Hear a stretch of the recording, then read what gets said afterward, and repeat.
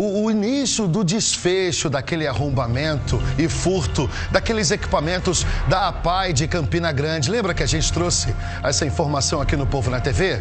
Pois é, na tarde de ontem, a polícia prendeu dois suspeitos do crime.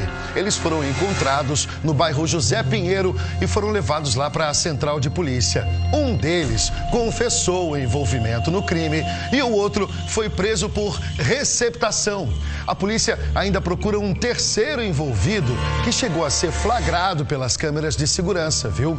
O arrombamento, a gente mostrou aqui, aconteceu na madrugada de quarta-feira. Ontem de manhã, olha, aconteceu o inusitado. Eles devolveram parte dos computadores e das máquinas de costura que foram levadas do furto na tarde em que aconteceu. Ó, ontem à tarde aconteceu a prisão. Importante o trabalho da polícia e é impressionante, né? Porque nesse caso, eles tiveram ali a coragem de trazer de volta alguns itens que foram roubados. Só que tem uma coisa, eles trouxeram tudo de volta, às vezes faltando peça ou então o material quebrado. E é muito importante que a gente tenha consciência sobre o trabalho importantíssimo da APAI, não só em Campina Grande, mas como também em todo o Brasil.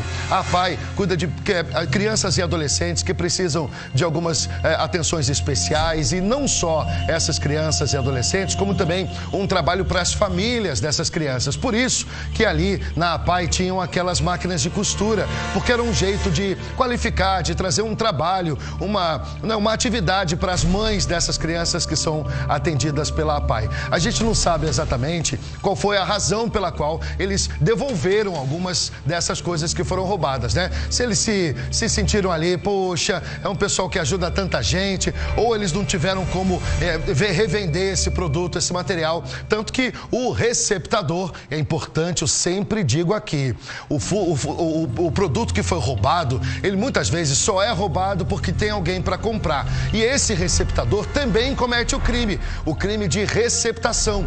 E é importante que a gente diga, se alguém chegar para você ou com uma máquina de costura, um computador, um celular que já tenha sido usado, que não tenha uma nota fiscal, é importante que a gente desconfie, porque pode sim ser furto de um roubo e você até sem saber pode ser enquadrado como o receptador. Crime de receptação é muito sério, é muito grave, porque é como se você fosse cúmplice do, de quem roubou, cúmplice do bandido. Bom, a, parabéns ao trabalho da polícia de tirar de circulação. Tá faltando um, mas acha que não? A polícia já sabe quem é e logo logo a gente vai trazer a notícia de que ele também foi preso. Cristiano Sacramento, vem para cá, vem para cá, meu amigo querido, porque